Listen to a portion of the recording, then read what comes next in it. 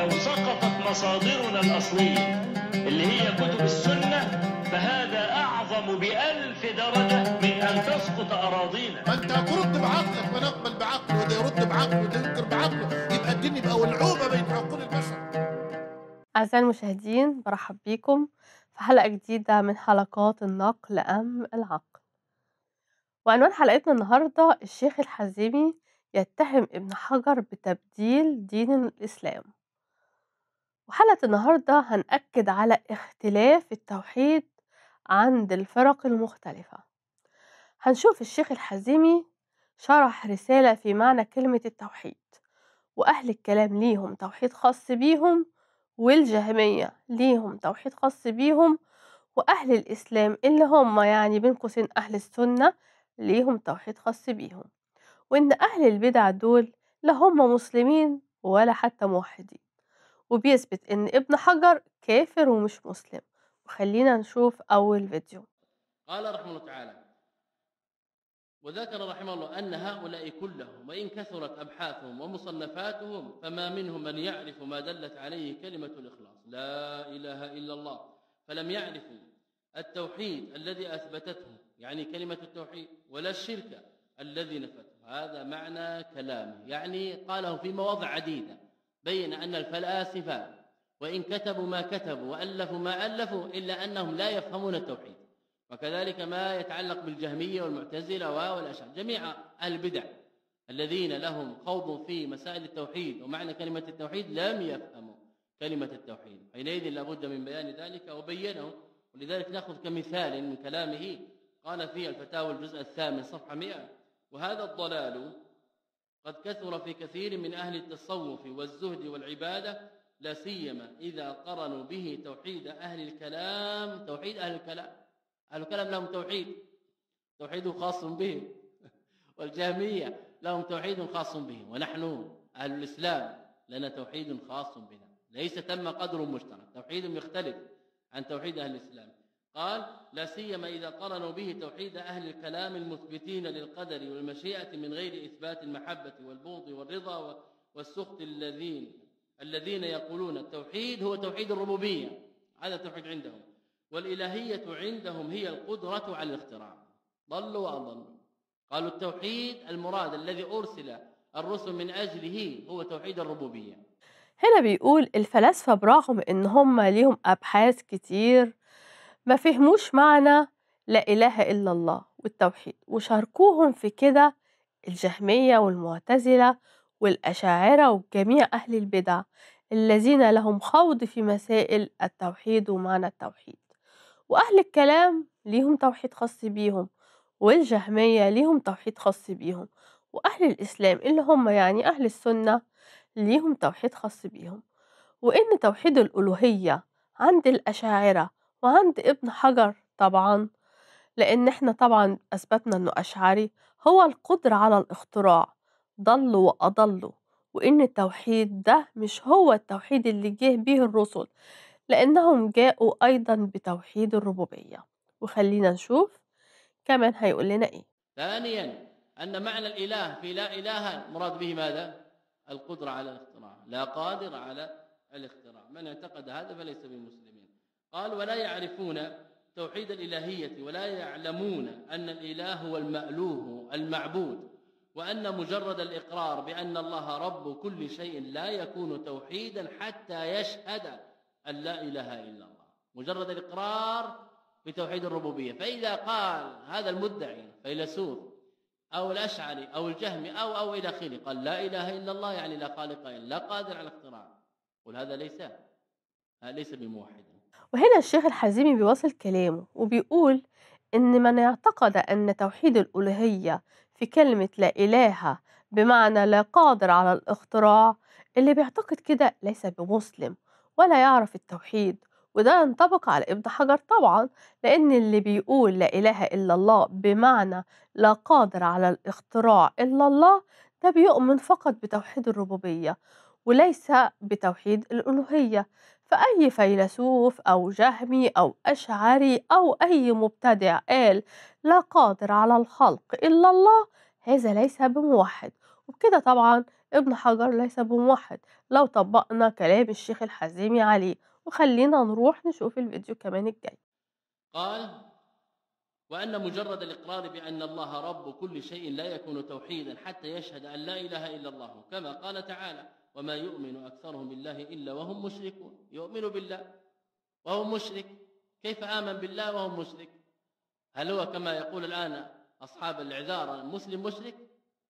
أو أنه أقر بإيمان الذي هو إيمان بالربوبية وأشرك فيه في العبادة. إذا وما يؤمن أكثرهم بالله بمعنى ماذا؟ تسأله من خلق السماوات والأرض قالوا ماذا؟ الله. يعني أثبتوا وآمنوا بتوحيد الربوبية.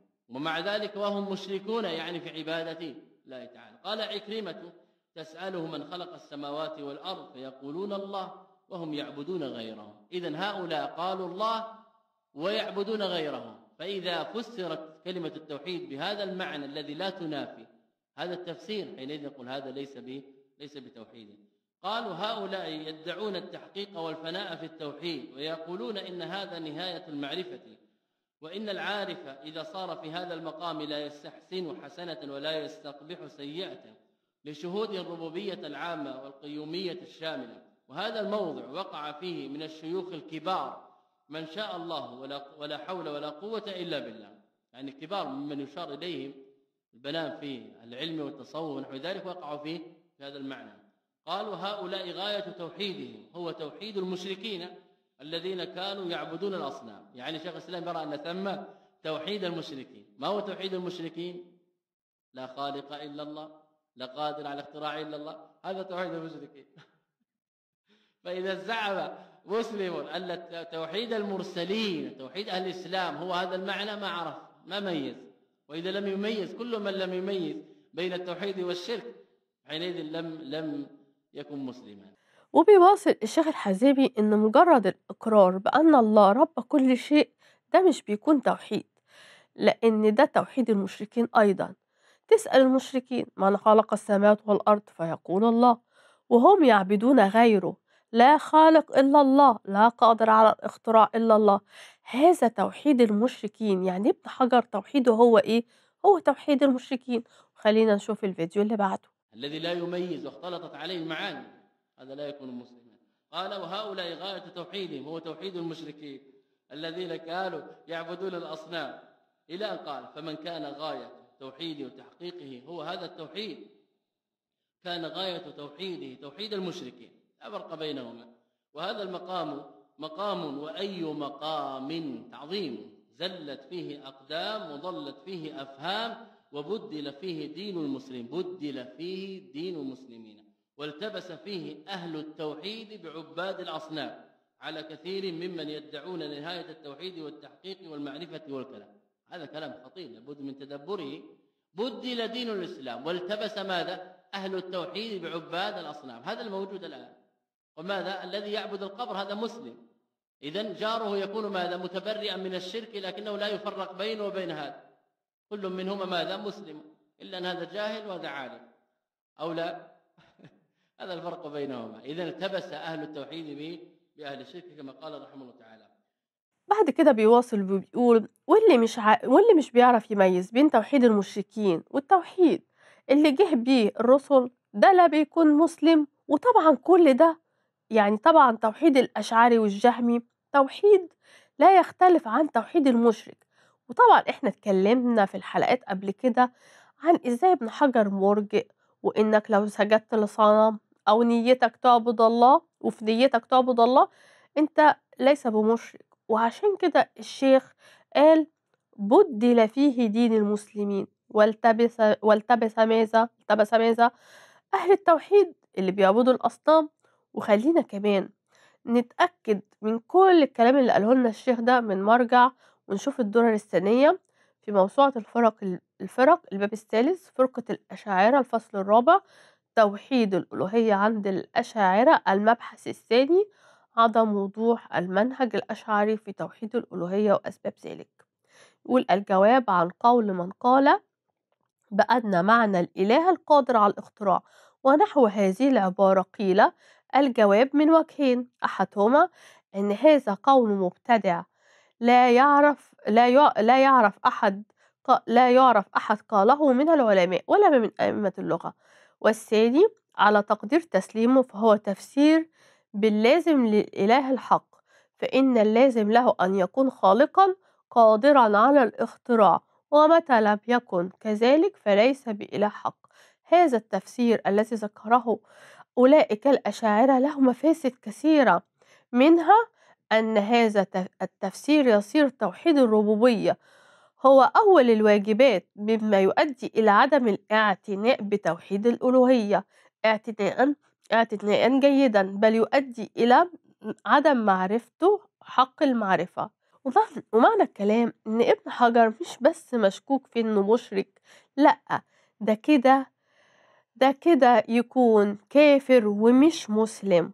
وألتقي بكم في الحلقة الجاية ونواصل عقيدة ابن حجر. لو سقطت مصادرنا الأصلية اللي هي كتب السنة فهذا أعظم بألف درجة من أن تسقط أراضينا. أنت ترد بعقلك ما نقبل بعقله وده يرد بعقله وده ينكر بعقله. يبقى الدين يبقى ولعوبة بين عقول البشر.